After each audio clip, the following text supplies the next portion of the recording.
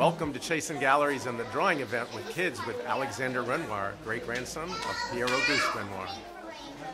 Uh, my name is Alex Renoir. It is my absolute pleasure to be here in Richmond, uh, to which I give a heartfelt thank you for having me, and it's a wonderful time. It's more oval, I think. Yeah, it is this one. You got that one. That's the one I got.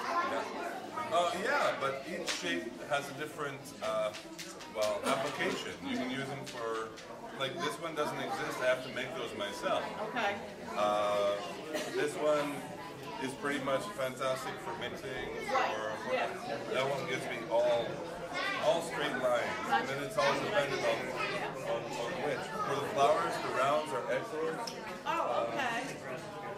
Some of them on the insides, I use uh, other ones that are like uh, teardrops, uh, different sizes, get different. Yeah. One, uh, the tubes are made of lead or have lead in them, so they can't X-ray them. And two, so they don't know what's inside for sure. And two, um, because a lot of them have uh, like yellows are a little toxic. Blues because they've got they're made out of metals. And some metals are poison.